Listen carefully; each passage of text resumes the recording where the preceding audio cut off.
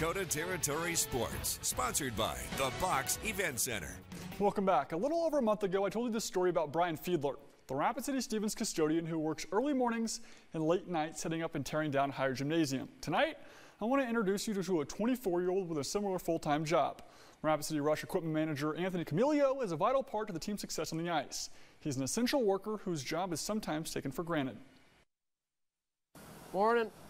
You just want to take a seat on a black couch and relax, but you know, you got somebody, you know, someone's got to do the work. Some, like it's got to get done. That's on me. It's still in the wash. Just be a cog in the wheel. You know, it's it's it's a lot of fun to to help put a product together on the ice, give these guys everything they need. Not a bad little locker room though. The NHL is, everybody, is, is everybody's dream in hockey. Everybody wants to get to the highest level. Um, that's definitely the goal. On a typical day, I'm getting here around 6:30ish. Um, you know, wake up in the morning, come right to the rink. Uh, start getting uh, the practice gear out, set them all up. Uh, usually there's sharpens to do in the morning. When these guys come in, you want them to feel as if everything's the same, everything's perfect. You know, it's not uh, it's not a frat house. It's not.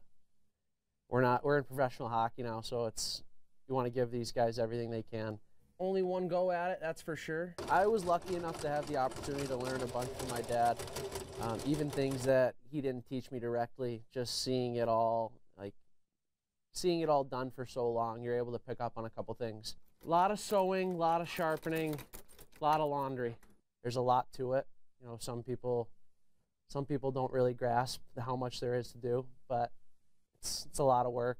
It's a long hours, but it's definitely worth it. The ECHL standings, here's a look. Right now, the Rush are in sixth place. They will need to get up to the fourth place. For the playoffs, they take the top four teams from each division. So the Rush will have six games to make up those two spots. As you can see, the Mavericks and Idaho Steelheads have already clinched playoff spots in this division.